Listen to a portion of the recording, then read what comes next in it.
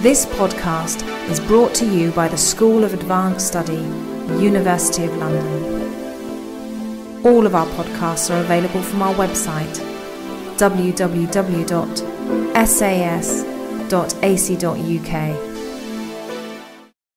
Uh, Good afternoon, everyone. Uh, My name is Kevin Middlebrook. I'm a member of the academic staff here at the Institute for the Study of the Americas. Uh, The Institute's director, uh, Professor Maxine Molyneux, has been fighting uh, actually two viruses over the last 10 days, and so she sends her apologies for her inability to be with us uh, this afternoon. Uh, It's my great pleasure to welcome you to this panel on the transition from war to peace in El Salvador, uh, commemorating the 20th anniversary of the signing of the historic uh, peace accords. Uh, And we have to explore both the process and its longer-term evolution and consequences, a truly distinguished uh, panel of experts. Uh, We're especially fortunate to have with us uh, Ambassador Werner Matias Romero, uh, El Salvador's ambassador uh, here in the UK, uh, and we're grateful to the embassy for their uh, financial support uh, for this event. I'm going to uh, turn to Ambassador Matias Romero for some general opening remarks, and he will prevent, uh, present uh, short uh, kind of bio sketches of the panelists, uh, and we'll uh, have a discussion of about 20 minutes uh, per person. We hope of ending more or less uh, at 6.30 so that there's time uh, for a question and answer between panelists and, and the audience. Thank you. Ambassador.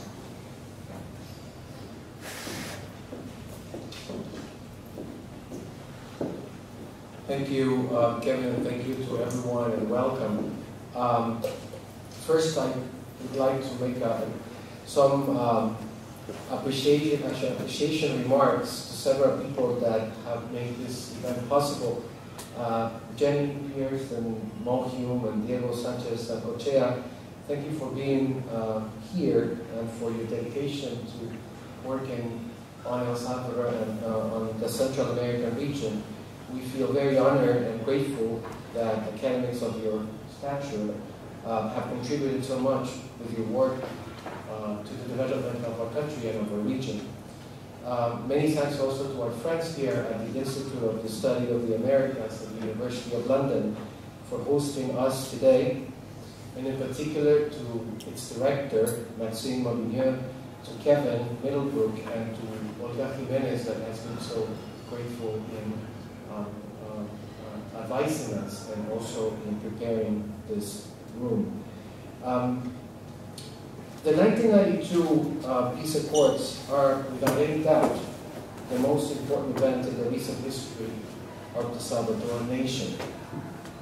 20 years ago, on 16th January 1992, in the Chapultepec Castle in Mexico City, the governments of El Salvador and the FMLN delegations, under the auspices of the Secretary General of the United Nations and having as witnesses the presidents of Central America, Spain, Colombia, Venezuela, and Mexico, signed the peace accords that put an end to a, to a civil war in our country.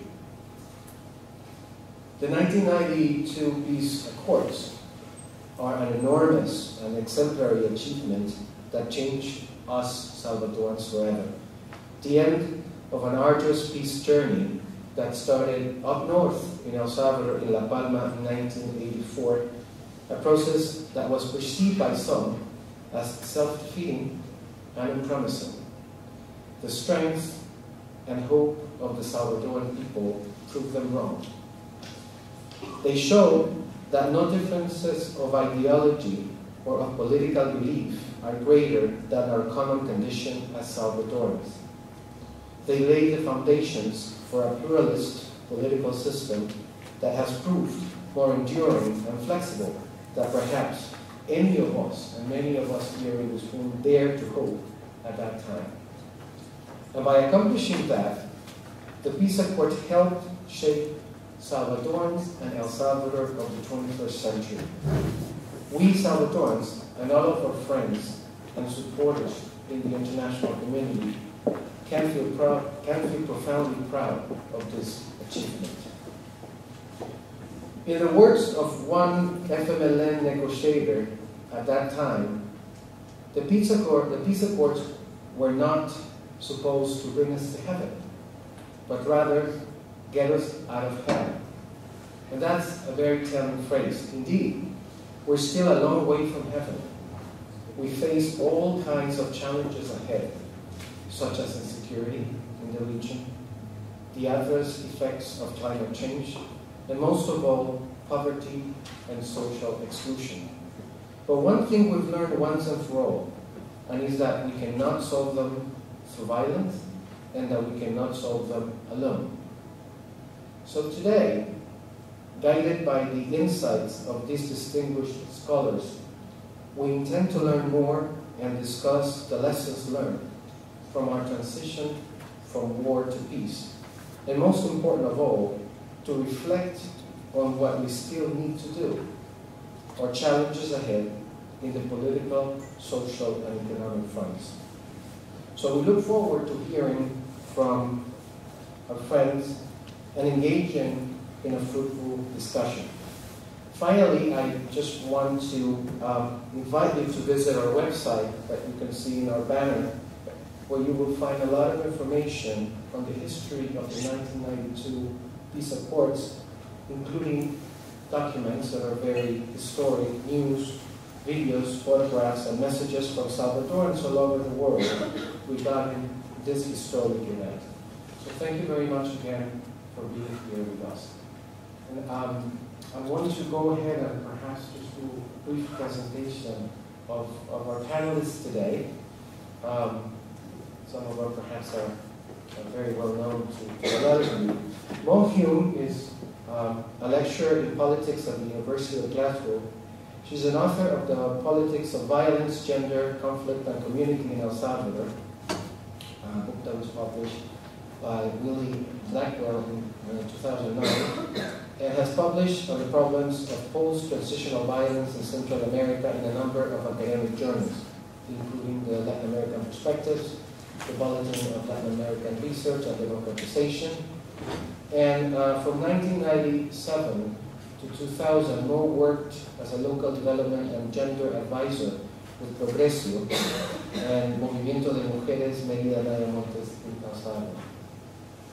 Jenny Pearce um, is a professor of Latin American politics and director of the International Center for Participation Studies in the Department of Peace Studies at the University of Bradford.